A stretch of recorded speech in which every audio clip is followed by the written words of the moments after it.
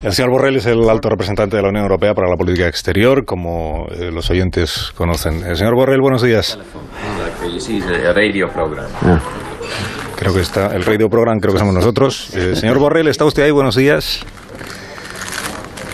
Hola, buenos días. Buenos días. Bueno, eh, estamos contando esta mañana, han salido ya los últimos militares estadounidenses de Afganistán, ahora mismo están los, los talibanes disparando al aire para celebrar lo que ellos entienden que es una victoria clara, una derrota de Estados Unidos, de Occidente. Le pregunto, 20 años después, porque estamos recordando que hace 20 años empezó aquella operación Libertad Duradera, éramos todos más jóvenes. Eh, 20 años después, ¿qué sabor de boca le queda hoy a, a José Borrell viendo lo que está pasando en Afganistán? Pues ciertamente no es una victoria de Occidente. Es, creo que en Afganistán eh, son, es una tragedia para el pueblo afgano, primero y antes que nada. Es una catástrofe para el pueblo afgano, es una clara derrota para Occidente y también es un cambio sustancial en las relaciones internacionales. De manera que no, no podemos estar para nada satisfechos y hay que extraer muchas lecciones de lo ocurrido, en particular para Europa, de qué manera nos relacionamos con esa parte del mundo que, que se niega a aceptar nuestros valores, de qué manera nos relacionamos con nuestros aliados, incluyendo los Estados Unidos, y también nos tocará pensar de qué manera nos relacionamos con los talibanes, porque nos guste o no, tendremos que hablar con ellos para resolver muchos problemas, empezando por los de los propios afganos. Y, empezando por esto último, la relación de la Unión Europea con los talibanes. El gobierno de España ayer dijo al ministro de Exteriores en ningún caso va a reconocer como, como legítimo, digamos, al, al gobierno del régimen talibán. La Unión Europea, ¿qué debería hacer respecto de ese régimen? ¿Se plantea la posibilidad de un reconocimiento? ¿Eso está completamente descartado? ¿Las conversaciones van a tener que ser informales o oficiosas? O? Bueno, la Unión Europea como institución política ni reconoce ni deja de reconocer. No tiene capacidad para reconocer a nadie. Son sus Estados miembros los que, como instituciones políticas soberanas, deciden reconocer o no a terceros. Pero es de esperar que actuemos de una forma coordinada y que todos los estados actúen de igual manera en la relación con los talibanes. De momento, por supuesto, mi opinión es que la, el reconocimiento eh, institucional mm, está descartado. Hay que esperar a ver primero qué clase de gobierno forman los talibanes. No olvidemos que hay negociaciones con otras fuerzas políticas, veremos dónde llegan. Y en segundo lugar, cómo se comportan el reconocimiento es en sí mismo una palanca, un instrumento para ejercer presión. Y por, por, para mí, en lo que a mí respecta, como coordinador de la política exterior de la Unión, es algo que está descartado por el momento, lo cual no quiere decir que no llevemos ya todos, desde hace ya días, tratando de contactar con los talibanes para las cosas que nos, que nos interesan. Vamos a ver, para llevar a la gente al aeropuerto de Kabul había que hablar con los talibanes, que eran quienes controlaban las calles, ¿no? Pues a partir de ahora, para incluso para, para llevar la ayuda humanitaria habrá que contar con ellos. ¿Cuánto nos podemos fiar de, de los talibanes? Claro, ellos están diciendo ahora, mm, a diferencia de hace 20 años, no eh, vamos a permitir presencia de grupos de yihadistas que practiquen el terrorismo internacional. En fin, hemos aprendido la lección y ahora estamos ya en otra cosa. Pero siguen siendo lo que, lo que eran. Cuando afirman compromisos, por ejemplo, de dejar salir a toda la población que lo desee y que tenga papeles de los países de la OTAN, por ejemplo. ¿Cuánto nos podemos fiar de, de los talibanes? ¿Cuánto estamos obligados a tenernos que fiar? No, no, olvidemos que los Estados Unidos lanzaron una negociación con los talibanes, mm. ni lo hicieron sin ninguna casa de consulta ni acuerdo previo con sus aliados, es decir, con nosotros, y que parte de los acuerdos a los que llegaron con los talibanes, y en el fondo lo que más les preocupaba a los Estados Unidos era la garantía de que Afganistán no volvería a ser un refugio o una base de operaciones para el terrorismo yihadista internacional. Eso formaba parte de los acuerdos. Claro que de esos acuerdos también se decía que los talibanes no, no lanzarían una ofensiva para hacerse con el poder y, la hicieron incluso antes de que los soldados americanos eh, se fueran de Afganistán. Por lo tanto, eh, fiarse, fiarse lo que se dice, fiarse lo justo. Pero esas negociaciones llevadas a cabo por, por, la administración Trump, no olvidemos que ha sido el presidente Trump el que decidió irse y llegó a un acuerdo y parte de ese acuerdo era el compromiso de los talibanes de no convertir a Afganistán en un foco de terrorismo internacional. Eh, en este momento esto preocupa, pero hay otra preocupación más grave y más urgente. En Afganistán puede, en fin, más grave y más urgente, todo es grave y urgente aquí. En Afganistán puede ser una tragedia humanitaria de dimensiones bíblicas. Está asolada por una sequía otra consecuencia del cambio climático. Si los talibanes retiran a las mujeres del trabajo, especialmente de los campos, la producción, la poca producción va a caer. Ahora ya hay millones de desplazados y millones de personas en una grave situación alimentaria. Todo eso se va a agudizar hay que aumentar la ayuda humanitaria a Afganistán.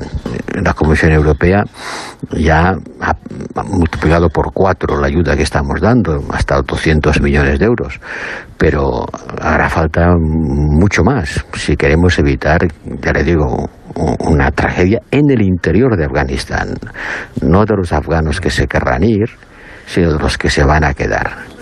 Y la segunda, segunda cuestión si os, ayer lo discutíamos con el secretario de Estado Blinken y con un grupo de países, entre ellos Turquía y Qatar, que son, digamos, el puente más directo que tenemos con los talibanes, eh, si los talibanes dejan marchar a todos los afganos que quieran, eso puede ser muchos.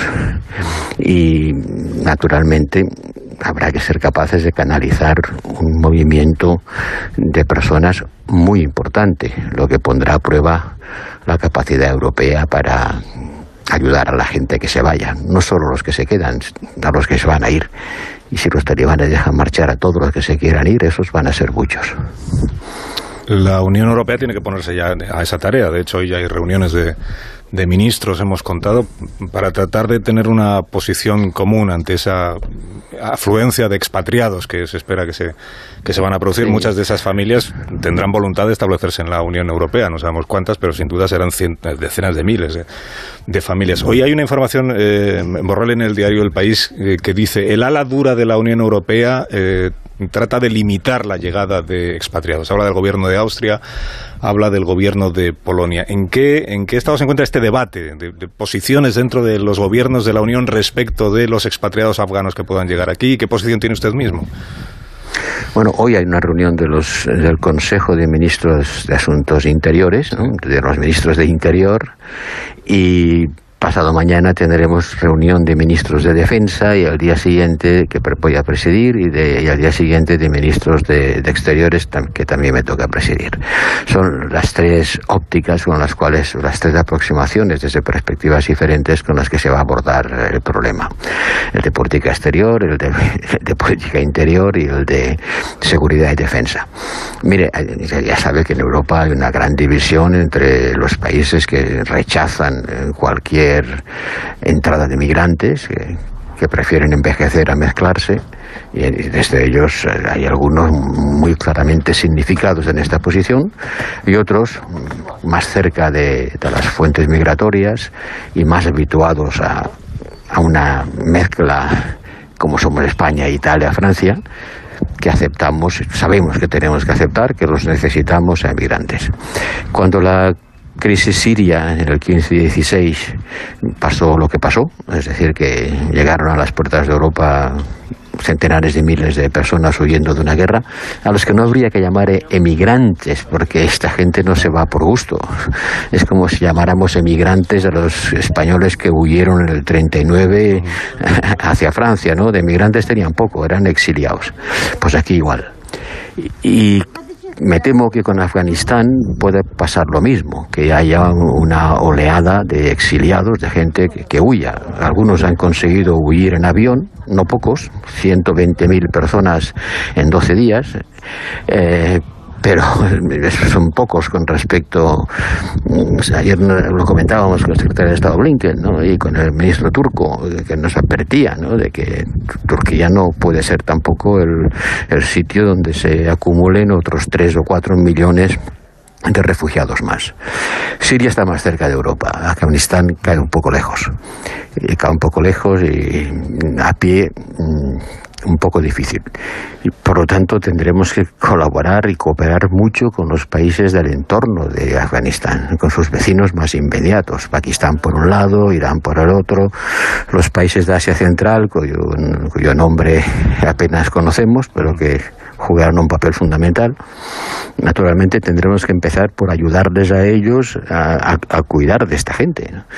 Y eso no, no quiere decir, como algunos dicen, eh, lavarnos las manos a base de dar dinero a los demás. Es que antes de llegar a Europa tendrán que pasar por otros sitios y en esos sitios alguien tendrá que ocuparse de ellos. Y no son países precisamente ricos, y en situación algunos de ellos muy precaria, como, como Irán. Por lo tanto, sí, los europeos tendremos que empezar por hacer un esfuerzo financiero muy grande y después tendremos que saber cuál es nuestra capacidad de asimilación, porque, y también lo discutí ayer con los presidentes de los grupos parlamentarios del Parlamento Europeo. Las buenas palabras se van a encontrar con la dura realidad. Porque cuando decimos que salgan todos los que quieran, la siguiente pregunta es ¿para ir dónde? Ahí España, como usted decía hace un momento, y el gobierno de España está en, digamos, la posición de mayor apertura a las personas que vengan de, Afganistán siempre que exista colaboración, solidaridad de todos los países de la Unión Europea para poderse repartir el peso ¿no? de, la llegada de, todas esas, de todas esas familias que está previsto que consigan, si lo consiguen, llegar hasta aquí. Esa es la posición del, del gobierno de España. Sabe usted que hay una oposición también dentro de España. Hay una parte de la oposición, antes comentaba Amón aquí la posición de Vox, ¿no? o sea, los partidos extremistas y los partidos eh, xenófobos, una crisis como esta la utilizan como munición para, para alimentarse ellos mismos y para cultivar precisamente el rechazo a todas las personas que vengan de fuera. En, otros países de la Unión Europea hay partidos que también en este, están en esta posición, incluso algún gobierno que está en una posición parecida. Sí, la división, la división o las diferentes actitudes no son eh, entre países, son también entre partidos políticos del interior de un mismo país. Hay una corriente política que está presente en todos los países, en algunos gobierna y en otros no, mucho más eh, refractaria y con el rechazo, como le decía, a aceptar eh, exiliados, digamos, llamarles por su nombre, ¿no? Inmigrantes en algunos casos, exiliados en este. Hay otros partidos políticos y otros gobiernos mucho más conscientes de su responsabilidad. Alemania lo fue en la crisis del 16, ¿no? he dicho que en aquel momento Merkel salvó el honor de Europa eh, cuando decidió abrir las puertas de las fronteras alemanas de los, de los que se agolpaban contra ellas, ¿no? Mm, insisto, Siria está bastante más cerca que Afganistán. Pero si es cierto que los talibanes dicen, ah, pues que se vayan todos los que se quieran ir, y naturalmente nosotros daremos presión para que así sea. Hay un, tomas de posición públicas de muchos países pidiendo a los talibanes que dejen salir a todos los que se quieran ir, y esos pueden ser muchos, insisto. Pues la siguiente pregunta que hay que hacer, si somos coherentes, es mm, muy bien, pero ¿dónde van a ir? Corredores humanitarios, muy bien, pero mm, ¿dónde llegan los corredores humanitarios? Y hay que, hay que asumir la responsabilidad que implica, decir, sí, sí, que se vayan y que vengan, y que vengan, y cuando vengan habrá que acogerles, y espero que no se repita lo del lo de Siria en el 15-16 y eso reclama una acción concertada y coordinada. Pero ya va usted a ver lo difícil que va a ser ya verá usted en el consejo de hoy y el que me tocará presidir a mí mañana dentro de un par de días, cómo las posiciones diferentes se van a poner sobre la mesa. Entonces mencionaba usted el reconocimiento como palanca para conseguir que el régimen talibán vaya en una dirección contraria a la que es, por otra parte, su esencia. Las ayudas económicas, las ayudas humanitarias que necesita la población afgana para salir adelante en esta tragedia en la que se encuentra, no solo desde el punto de vista político, como usted antes mencionaba. Esas ayudas humanitarias, ayudas económicas, pueden servir también de palanca para conseguir que los talibán vayan en una o cumplan al menos sus compromisos. esas son incondicionales. Eh, la ayuda humanitaria, que es parte de la política exterior, que eh, me toca también coordinar, de la que es responsable mi amigo el, el comisario Llanes, eh, esa es incondicional se ayuda a la gente que está en una crisis humanitaria porque está en una crisis humanitaria y poco importa el color del gobierno porque no es una ayuda al gobierno sino a la gente lo cual a veces es difícil de aplicar por ejemplo, ahora en este caso nos encontramos ya con que los talibanes dicen que no van a aceptar que entre los trabajadores humanitarios encargados de distribuir la ayuda sobre el terreno haya mujeres. Bueno, eso dificulta mucho el reparto de esta ayuda y de la interacción de los trabajadores humanitarios con las mujeres afganas, porque si no hay mujeres entre ellos, sabe usted lo complicado que es el papel de la mujer en la sociedad talibán.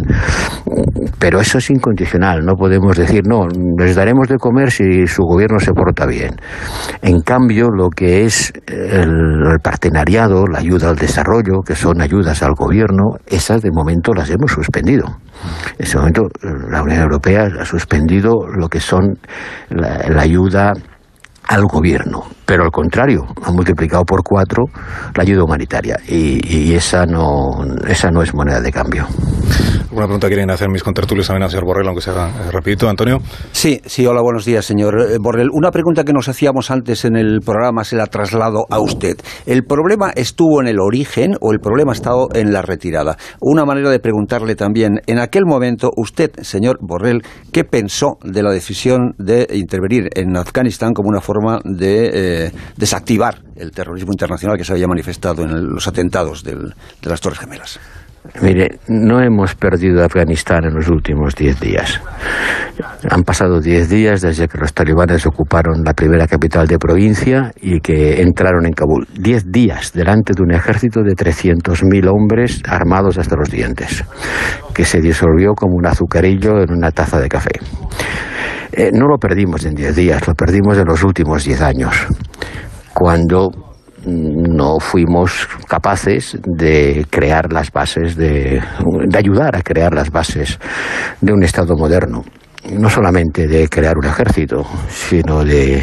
Y probablemente 10 años no eran suficiente tiempo para los cambios socioeconómicos que hay que hacer en una sociedad premoderna como la sociedad afgana, pero sin duda mm, la construcción de un Estado que el presidente Biden dice ahora que no era la misión, que la misión cuando empezó la guerra era solamente acabar con el terrorismo. Bueno, eso se hizo porque íbamos a por Bin Laden y al final y al final lo encontraron.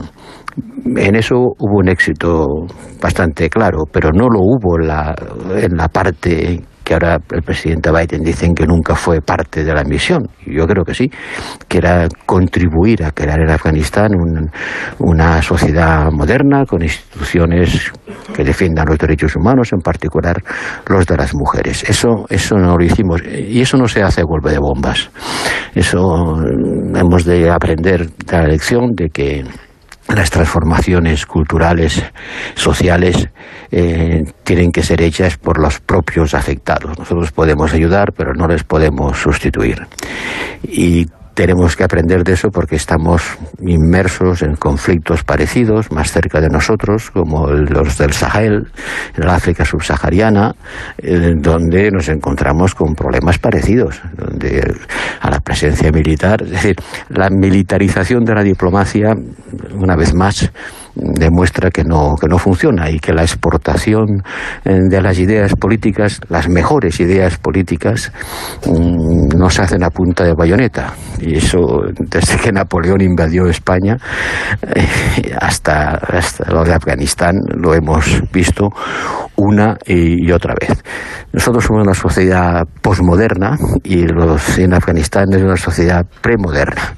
El, la diferencia cultural entre los dos es gigantesca. Pero si los talibanes han vuelto después de 20 años de guerra y han vuelto a tirar un tiro o casi, eh, quiere decir que representan algo la sociedad afgana que tienen raíces profundas en esa sociedad. Y aunque para nosotros lo que ellos representan esté en la antípoda de lo que somos y lo que queremos y lo que pensamos, pues mm, lo, podemos lamentar, pero no podemos negar que hay una parte de las sociedades en algunos países que rechazan con mucha fuerza la modernización occidental los valores occidentales. Y eso nos tiene que obligar a pensar de qué manera podemos defender estos valores en el mundo. Eh, señor Borrell, eh, el problema, si me permite, es que creo que la novedad geopolítica de los últimos 20 años es la irrupción y hegemonía de China, ¿no? que ha sido el país que ha reconocido con más énfasis que ninguno el derecho de un pueblo a escoger su destino, consolidándose incluso su misión en, en Kabul y manteniendo abierta la embajada de, en Afganistán. ¿No, es preocupante? Eh, yo, yo, entiendo el discurso de la Realpolitik, comprendo que tengamos que relacionarnos de alguna manera o de otra con los talibanes. El propio Boris Johnson ¿no? Eh, forma parte de esta posición eh, de entendimiento con los nuevos gobernantes, pero no es muy inquietante que el gran garante geopolítico de, de Afganistán sea China. China y Turquía y Rusia y Qatar bueno, pues. no lo digo, pero. Me rindo. No, no, pero ponga usted a todos esos países en una constelación, ¿no? y, vea que, y, vea qué puntos de, proximidad tienen, ¿no? Eh, China tiene toda la lógica del mundo. Primero, porque son vecinos. Segundo, porque en China tiene algunos problemas con una parte de su población musulmana. Y tercero, porque Afganistán es la gran reserva mundial de litio. el segundo país con mayores reservas de litio. Y el litio es el petróleo de la revolución digital. Es la materia prima de, de, la sociedad digital del futuro, de las baterías y del funcionamiento de lo que estamos viendo que se desarrolla entre nuestros ojos.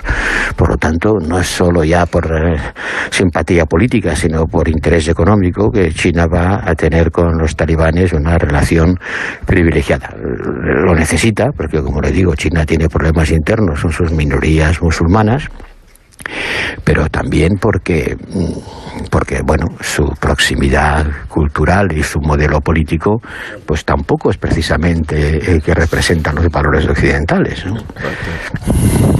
Pero sí podemos confiar en que el gobierno chino em, garantice que los talibanes no coqueteen con el terrorismo yihadista, por lo menos. Tampoco. No, no creo que China tenga ningún interés en que se extienda el terrorismo yihadista. francamente, creo que China es una potencia mundial con la ambición de serlo y de jugar el papel que sin duda le corresponde por su dimensión, por su peso, por su extraordinario dinamismo económico. No, no, no creo que China se dedique a eso en absoluto. El problema es que los yihadistas van por libre, ¿sabe? No, son gente que reciba grandes consignas y los propios talibanes tendrán problemas para controlarlos. Porque ahora recordamos que en el, el señor Bush en el año 2001, cuando empieza toda esta intervención militar, el argumento es que hay un Estado que está eh, sirviendo de refugio de santuario o apadrinando, no sé, nunca quedó muy claro quién apadrinaba a quién, si Al-Qaeda, los talibanos, al revés. Pero claro, que era un Estado el que estaba haciendo posible de los yihadistas, en aquel caso Al-Qaeda, utilizara el territorio y los recursos de ese país para el, terrorismo internacional. La última pregunta, que de verdad que ya es la última de Rafa Latorre. además es muy breve. Es muy breve. Eh, señor Borrell, sí, eh, permítame volver sobre la cuestión del, reconocimiento. Entiendo las prevenciones diplomáticas, pero permítame planteárselo de forma más abrupta. Eh, ¿La Unión Europea considera a los talibanes la autoridad única en Afganistán? No consideremos o no lo consideremos, mm, da igual. Los talibanes han tomado el, poder en Afganistán, controlan el país. nosotros podemos decir misa, esta es la realidad con la que uno tiene que, que, lidiar. Eso no quiere decir que les reconozcamos como el gobierno legítimo, pero inevitablemente tenemos que relacionarnos con ellos. Uno siempre se relaciona cuando quiere conseguir algo con el que tiene la llave de ese algo. Em, em, perdóneme que, que, lo hago con un poco de humor negro, cuando en mitad de, la, de los esfuerzos para llevar a la gente al aeropuerto de Kabul, eh, yo en ese momento pues habrá que hablar con los talibanes. Alguien se mostró muy ofendido. ¿Cómo? Pues oiga, ¿y con quién quiere usted que hable? Para llevar a la gente por una calle que está controlada por los talibanes. Pues con los talibanes, ¿no? Porque si no, ¿cómo lo voy a hacer? Entonces, esto no es realpolitik, esto es que hay una realidad que, hay que reconocer. y mucho cuidado, porque tampoco podemos dedicarnos a dar lecciones que luego en la práctica no seamos capaces de materializar. Es decir, mm, tenemos la, fuerza y el poder que tenemos. Y, mm, insisto, los talibanes representan algo social y culturalmente en la sociedad afgana. Eh, a mí me, no hace falta que le diga que todos nosotros, todos ustedes y yo mismo estamos las antípodas de lo que ellos representan pero pero estos no han llegado por casualidad. Cuando se ha producido este derrumbe de un gobierno y de un ejército, quiere decir que los que están enfrente tienen profundas raíces en esa sociedad y ese es, ese es el problema fundamental que tenemos. Cómo relacionarnos con la parte del mundo que tozudamente rechaza los valores occidentales. Señor Borrell, le agradezco que nos haya acompañado estos minutos, este rato de conversación y le deseo que tenga un buen día. Gracias. Muchas gracias. Gracias. Y 26 a las 9 me dejáis que hagamos una pausa cortita. 8 y 26 en Canarias y ahora continuamos con el análisis del día. Le van a poner una calle. Más de uno. Onda Cero. Carlos Alsina.